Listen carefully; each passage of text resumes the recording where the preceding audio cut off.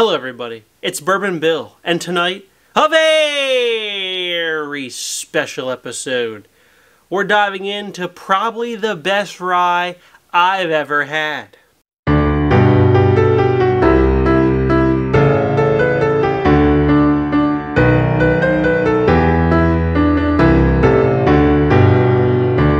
There it is, 13th Colony Cask Strength Single Barrel Store Pick.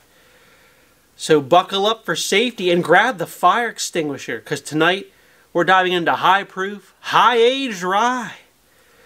So big shout out to a lot of people uh, that made this one here possible. The first shout out goes to Tyler B from the great state of Tennessee. So I would to be on a live stream of the Mashing Journey and I saw Jason. If you watch that channel, go check it out uh, drinking one of these fine looking 13th Colony cash drinks. They're pretty rare, in case you don't know. And I said, oh, is that the one that Seelbach's released a little bit ago? And Tyler commented, no, no, no. Elixir Wine and Spirits in Spring Hill, Tennessee. And I said, hold up. Thank you for that information, Tyler. And B, I know a good pal in Spring Hill, Tennessee. Actually, thank you, Callum. Actually, the best man at my wedding not into bourbon himself, but I said, Callum, head on over to Elixir Wine and Spirits. It's in your town. And he did just that. And Elixir was kind enough to sell me this bottle. So, out of this bottle here, only 90 bottles exist. So that's not the point. You probably didn't get this one at all. But the point is that 13th Colony is now putting out cask strength store picks, which they really haven't done before. So 13th Colony is a company that puts out that double oak bourbon that everyone's going crazy over. And no, I don't have one to compare tonight. Sorry. Someone send me a sample or a bottle if you have one. Uh, I do not, so you're not going to get that comparison tonight. So sorry. I'd love to have a bottle. Anyway, try to sample that. It's delicious. It's the hype that everyone says. It's there. Anyway, besides that, they really hadn't put out a cask strength offering, but they are starting to do single barrel store picks of both the bourbon and the rye. So thank you, Elixir Spirits. Thank you, Tyler. And thank you, Callum, buddy, for uh, making us all come to fruition and delivering this bottle here so you guys can enjoy the review tonight and I can enjoy drinking it. Anyway, to get into the stats of why this is so great, let's talk about the age. 13 years. 13 year old rye. Don't see that come along too often. Proof. Buckle up for this one. 149.3 proof. Compute, compute, 74.7% alcohol by volume. Rita, my God, put out the candles. We got, good Lord. Don't pretend. we can't have open flame anywhere near this high proof of a bourbon. You gotta go upstairs if you're gonna burn candles in the house. We can't have that down here. Notes aside, extremely flammable. Be careful. The fire is off tonight for safety on this channel. So that's all there is to say about that. this is why I read upstairs. that's a good one to put in. Yeah. All right, so before we dive into that deliciousness, which I'm sure you want to hear about, we don't. They do read I did get just the regular 13th Colony, just their Southern Rye whiskey. This one comes in at 95 proof. Compute, compute, 47.5% alcohol by volume. This is batch 2023 and it's like 35 bucks. So how's the $35 bottle looks pretty dang similar. A lot of rye spice on the nose. It's a little sharp. It's a sharp rye on the nose. I get like nail polish remover. Lemon, if you will. Let's take a sip. It's got like a little bit of a tobacco note to it. It's kind of woody, uh, not in an old way. It's decent. For 35 bucks, yeah, grade C. Straight C on Bourbon Bill. Do I need a $35 rye on my shelf? No. Would I buy another $35 rye? No. Um, it's pretty good. These are actually finished in like French oak. So they put some French oak spirals or staves in it. What's that? Maker's Mark. You copying them? Um, it's good. I don't need this bottle and, and wouldn't buy another one though. But if, if you're in the the market for a $35 rye, you could do much worse.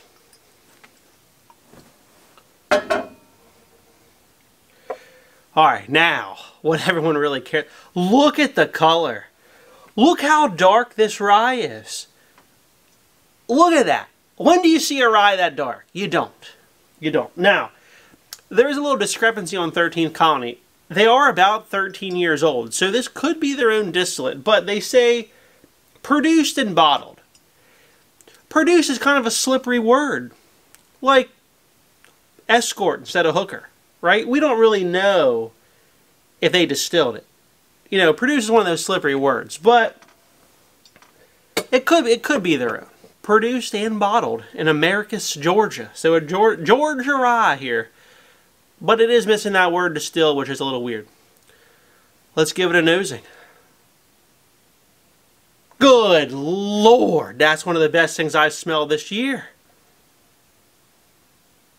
Oh my God, molasses, maple, raisins, rye spice, lot of oak, lot of oak, sweet oak, barrel char even fudgy chocolates. One of the best smelling ryes I've ever smelled. Let's take a sip. Good Lord, heaven help me, that's delicious. Oh my God. I, the finish keeps going. Tell you what, drink's way under proof. For being almost 150 proof, this drink's about 124 somewhere in that range. The most dense flavor I've ever had. This is like Coy Hill Rye. Um, there's like tobacco, sweet cigar box, molasses, dates, raisins, rye spice, maple. It's all there. It's all delicious. Um, in all honesty, this is this is the best rye I've ever tasted, hands down. Price on these bad boys Seelbach's was charging two hundo. Um, this one was like 185, something like that. So they're expensive. Absolutely worth it. Uh, I would definitely buy another one if given the opportunity. Delicious. Now, A plus rating from Bourbon Bill. Absolutely a buy. Definitely back it up if you can. If you haven't heard of 13th Colony, it's time to wake up. You know, the regular rye was all right back there. Uh, the cask strengths and the double oak is where it's at. And I know they're hard to get, but that's what you want to be buying. Okay? Now, that's not all for you lucky viewers. Couple supporters of the channel, Ken W. and Bob B., sent me some samples of the Seelbach's releases of the 13th Colony cask strengths.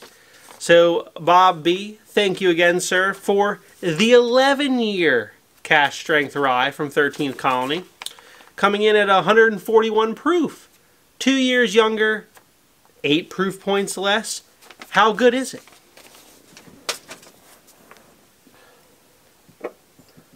We got it right here in the sample bottle, and boy, these samples are dwindling because I couldn't keep my grubby little hands off of them. All right, this is Bob's from Seelbach's 11-year cask strength rye from 13 Colony. Oh man, it's just like smells like Coy Hill. It really does. Barrel char, like sweet barrel char the molasses and maples and kind of raisin note are there. They're very similar, but there's almost like a cherry note developing on the 13 year that is not present on the 11. The 13 year is sweeter with an extra layer of flavor on the nose. Let's take a sip of the 11. Wow. Absolutely a stunner. If you got the Seelbach's 11 year cask strength 13 colony rye, you're a winner. That is delicious doesn't quite have that deep cigar box tobacco and deeper maple flavor that I'm getting on here. Back to the 13 year.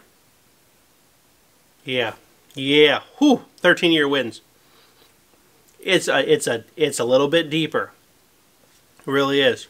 Wow. It's developing like it's definitely sweeter. It's developing more oak. It's developing like this like fruit cherry type prune note maybe on top of the 11 year. 13 year absolute winner. Now, because you're on Bourbon Bill's channel, that's not all. So Ken sent us a sample of the 13th Colony cask Strength Bourbon. Now, not having a double oak, this is as close as we're going to get. This isn't double oaked, but color-wise, I don't know if you can tell, the bourbon right here is darker than the rye. And that rye is like black. This is one of the darkest bourbons I've ever seen. The stats on the Seelbach's cask strength bourbon release are 10 years old, 138.64 proof. So not as high in proof, not as high in age. Let's give it a nosing.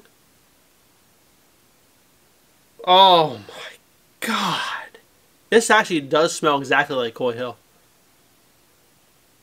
Barrel char, way more fudge sickle.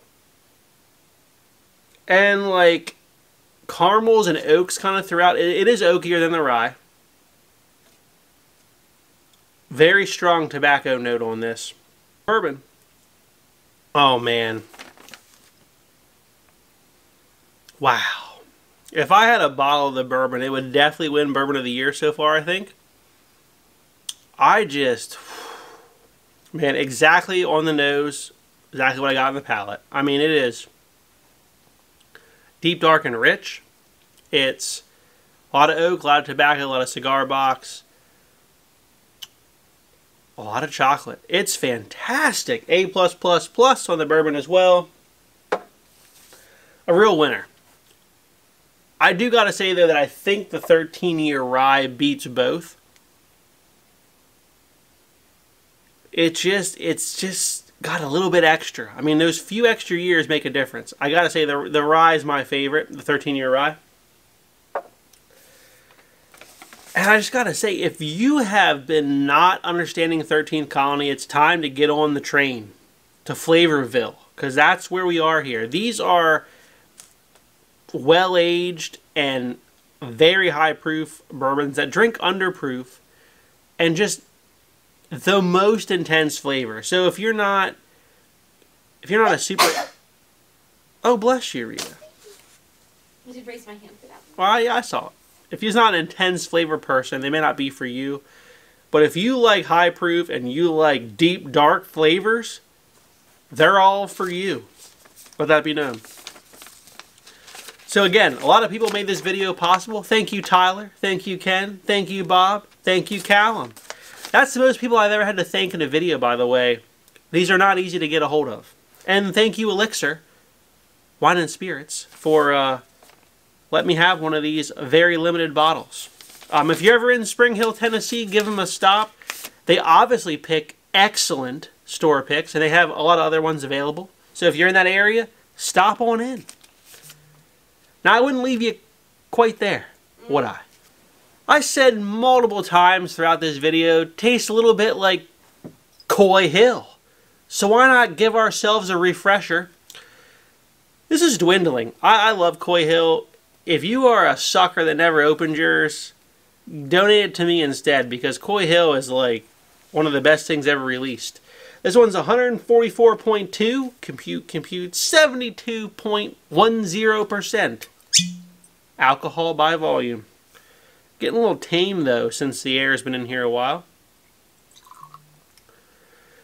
And we're just going to give this a little little tasting compared. Now I know the one's a rye, but we do have a bourbon in here. Coy Hill, by the way, was about nine years old. So we're in the same year range as the bourbon. And we're in the same proof range. Oh, man, Coy Hill's such a winner. It just the most intense sweet barrel char sweet oak. It's like barrel char candy. Wow. Mmm. Love me some JD Coy Hill. Um, the Coy Hill splits the difference between the bourbon and the rye. Um, the 13 Colony bourbon does kind of have that barrel char type note, but it's not nearly as sweet. It's it's more dry. It's more dry oak. It's more tobacco. It's more cigar box. It's more a little bit drying, right? Coy Hill is very sweet, but overall, that that heavy barrel char presence is there. And like I said, it splits the difference because the rye here, the 13 Colony rye, is so sweet. Yeah, if you took out the rye spice out of the 13 Colony rye and left the sweetness, you're at Coy Hill. So if you like Coy Hill, couldn't get a Coy Hill, don't want to spend 400 some dollars on secondary, make yourself a little 13th Colony Burr Rye. I'm not sure there's any way that any rye I purchase this year, no matter how good they are, will top this. If that gives away my top 10 ryes of the year, I'm sorry, but this is that good. That good of a rye. The bourbon over there is that good of a bourbon. If I don't have a bottle, so it won't it will not be included in my top 10 bourbons of the year, but if I had a bottle, don't see how that wouldn't place like top two at most for the bourbons. Um, the 13th Colony cash banks are that good. So if you like what we saw tonight, please like, comment, and most importantly, hit that subscribe button, everyone. And remember, we do have Patreon now, so if you'd like to support the channel in that way, go ahead and sign up. Thanks. Have a good evening, everybody.